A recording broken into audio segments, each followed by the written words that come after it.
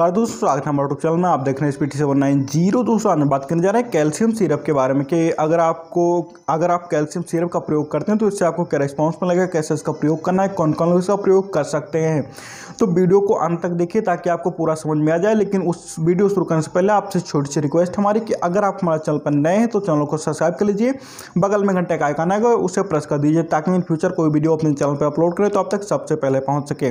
तो बात कर लेते हैं कैल्शियम सिरप का किस केस में उपयोग किया जाता है तो अगर आपकी हड्डी कहीं पर टूट गई है, आपका प्लास्टर बंधा हुआ है तो वहाँ पे अगर आप कैल्शियम सिरप का प्रयोग करते हैं तो आपकी जो हड्डी है काफ़ी जल्दी जुड़ जाएगी और आपकी हड्डी काफ़ी जल्दी मज़बूत भी हो जाएगी। दोस्तों, अगर आपको कमर में दर्द हो रहा है या घुटनों में दर्द हो रहा है, कहीं पे भी दर्द हो रहा है और आपके अंदर कैल्शियम की कमी हो गई है तो वहाँ पे भी अगर आप कैल्शियम सिरप का प्रयोग करते हैं तो काफ़ी अच्छा रिज़ल्ट देखने को मिलता है। फिर जो बच्चे चार, पाँच पाँच साल से ऊपर के हैं, वो बढ़ नहीं रहे हैं, उनकी हड्डियाँ काफ़ी ज़्यादा कमज़ोर हैं, वो ठीक से चल नहीं पा रहे हैं, वो चलते हैं तो गिर जा रहे हैं।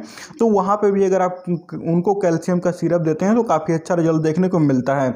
बस जो बड़े लोग हैं उनके डोज अलग रहेंगे, जो बच्चे हैं उनके डोज अलग रहेंगे। यानी बच्चों को कम कम पिलाना है, जो बड़े लोग हैं उनको ज़्यादा ज़्यादा इस सिरप को लेना है। तो आगे वीडियो में बताएँगे किसको कितना डोज देना है। तो अगर आपकी कहीं हड्डी फ्रैक्चर हो गई, कहीं पे गिर पड़े, हाथ टूट गया है पैर टूट गया है, या फिर कमर में आपके मोच आ गया है, या फिर गले में मोच आ गया है, हाथ में मोच आ गया है, कहीं पे भी मोच आ गया है तो वहाँ पे अगर आप कैल्शियम के सिरप का प्रयोग करते हैं तो इससे आपकी हड्डियाँ काफ़ी ज़्यादा स्ट्रांग हो जाती हैं और आपके अंदर जो कैल्शियम की कमी हो गई थी, वो काफ़ी जल्दी दूर हो जाती है। प्लस अगर आपके जोड़ों में दर्द हो रहा है और आपने बहुत सारे दवाओं का प्रयोग किया, दर्द की दवाओं का प्रयोग किया, लेकिन जब तक आपने दवाओं का प्रयोग किया, तब तक तो आपको रिस्पांस मिल रहा है। जैसे ही आपने प्रयोग करना बंद कर दिया तो आपको रिस्पांस भी मिलना बंद हो गया। तो जोड़ों में अगर आपके बहुत ज़्यादा दर्द हो रहा है और आपको चलने फिरने में प्रॉब्लम होती है, ये काफ़ी ज़्यादा ओल्ड एज में होता है, जो चालीस प्लस हो जाते हैं, उनको इस तरह की प्रॉब्लम देखने को मिलती है। तो लोग अगर कैल्शियम के सिरप का प्रयोग करते हैं तो काफ़ी अच्छा रिज़ल्ट देखने को मिलता है। वो उसके साथ में कैल्शियम के टैबलेट को भी ले सकते हैं।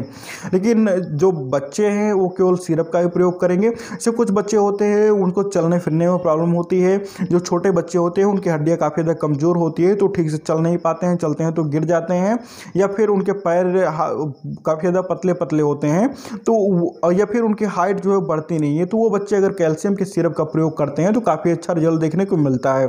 जो बहुत ज़्यादा छोटे बच्चे होते हैं, उनके लिए अस्टो कैल्शियम सिरप आता है, वो अलग से आता है। लेकिन जो पाँच साल से ऊपर के बच्चे हो जाते हैं, बढ़ नहीं रहे हैं या फिर चल नहीं पा रहे हैं, ठीक से बोल नहीं पा रहे हैं तो लोग अगर कैल्शियम का सिरप का प्रयोग करते हैं तो काफ़ी अच्छा रिज़ल्ट देखने को मिलता है।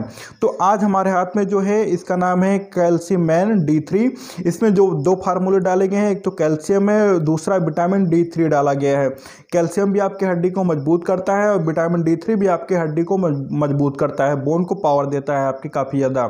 तो अगर आपके हाथ पैर कहीं पे फ्रैक्चर हो गए हैं और आपको प्लास्टर हुआ है और आप कैल्शियम की दवा खा रहे हैं, उसके साथ में अगर आप कैल्शियम के सिरप का भी प्रयोग करते हैं तो काफ़ी अच्छा रिज़ल्ट देखने को मिलता है या फिर कोई बच्चा जो है ठीक से चल नहीं पा रहा है और पाँच साल से ऊपर का हो गया है तो उसको भी आप ये सिरप दे सकते हैं कैल्शियम एंड डी थ्री। लेकिन अगर कोई बच्चा पाँच साल से कम का है तो उसको आपको देना है अस्टो कैल्शियम सिरप। अस्टो कैल्शियम सिरप के ऊपर ऑलरेडी ऑलरेडी हमने वीडियो बना के रखा हुआ है तो उस वीडियो को जाके आप देख लीजिएगा। वो जो दो साल के ऊपर के बच्चे हैं, दो साल से लेकर पाँच साल तक उनको आप अस्टो कैल्शियम सिरप दीजिए।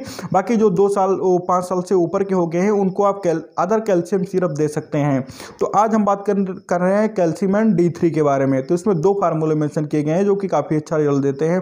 जैसे बच्चों के हाथ फ्रैक्चर हो जाते हैं, कहीं पर गिर पड़ते हैं या फिर कुछ हो जाता है तो उनकी हड्डियाँ जो है फ्रैक्चर हो जाती हैं, हाथ, पैर, कुछ भी टूट जाता है उनका। तो वो डॉक्टर्स भी रिकमेंड करते हैं कैल्शियम के सिरप का जैसे उनको प्लास्टर हो गया है।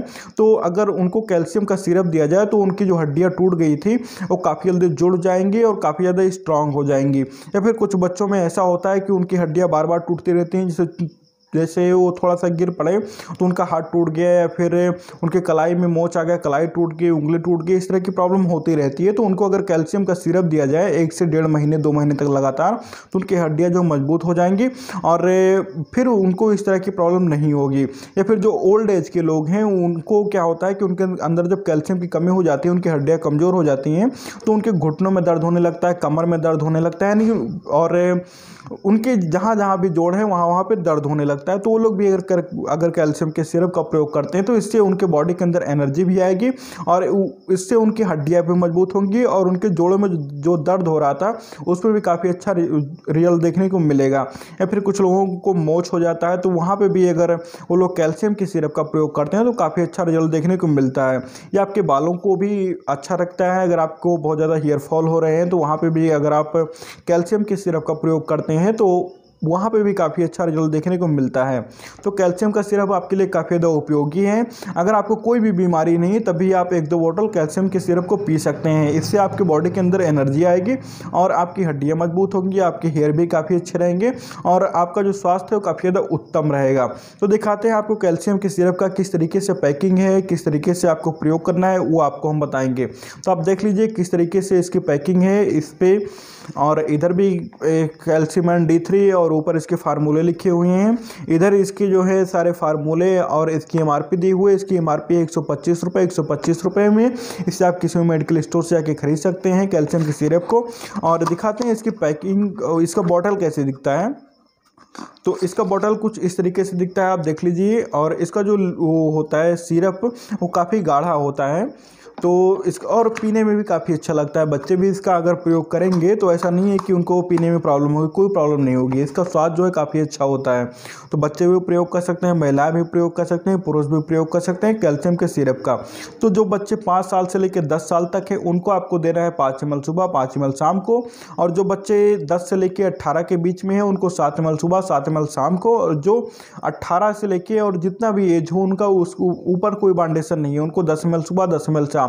लगभग एक महीने तक प्रयोग करवाइए, एक महीने तक अगर आप प्रयोग करवाते हैं तो इससे आपके बच्चे की हड्डियाँ मज़बूत हो जाएँगी और अगर आपका बच्चा ठीक से चल नहीं पा रहा है या फिर उनके, उसके पैर में या हाथ में कोई प्रॉब्लम है तो सारी प्रॉब्लम दूर हो जाएगी हड्डी से रिलेटेड। और उसके अंदर अगर कैल्शियम की कमी होगी तो वो भी दूर हो जाएगी। या फिर कुछ लोग जो ज़्यादा एज के हो जाते हैं, उनके अंदर कैल्शियम की कमी हो जाती है तो उनके घुटनों में दर्द होने लगता है, ऐठन होने लगती है, काफ़ी ज़्यादा प्रॉब्लम होती है उनको। तो लोग अगर कैल्शियम के सिरप का प्रयोग करते हैं तो काफ़ी अच्छा रिज़ल्ट देखने को मिलता है तो मुझे उम्मीद है कि आपको कैल्शियम की सिरप के बारे में सारी जानकारी मिल गई होगी इस वीडियो में। और अगर कोई जानकारी हमारे द्वारा ना दी गई हो इस वीडियो में तो आप कमेंट करके हमसे पूछ सकते हैं। मिलते हैं आपसे अगले वीडियो में एक नए प्रोडक्ट साथ में। तब तक के लिए धन्यवाद। आप अपना ख्याल रखिएगा।